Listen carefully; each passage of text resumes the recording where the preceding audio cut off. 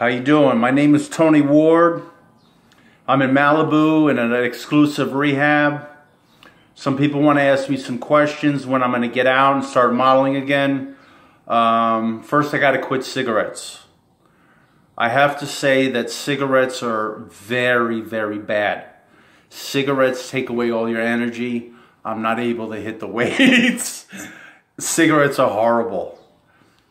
I dated Madonna for a little bit. Um, some people know this. She wrote a book. There's a chapter, I'm in the book. But Madonna talks about me a little bit. Um, one time I was jogging with Madonna and she stopped and she said, Tony. I said, what?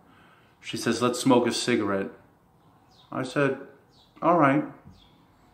She lit me up and it felt good. But when I started jogging again, I'm moving and I'm like, oh, that killed me, man. Why? I can't do that no more. She goes, come on, Tony, let's smoke another one. I go, all right, all right. And then um, we broke up. Years later, I'm still smoking.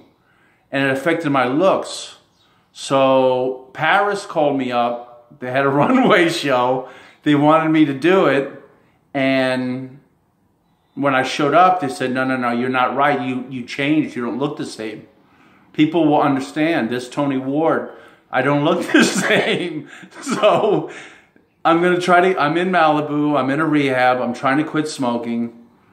And I used to have a beer once in a while. I quit. I'm doing really go, good.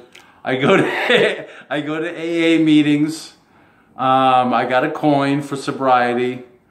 I talk about my problems, and then after the meeting, I light up a camel, and I go, "What? I gotta quit. I, I, I gotta get back on the runway. I gotta get back on the catwalk. You know, my fans, my fans want me back. You know, so I'm trying. For you guys, I'm trying.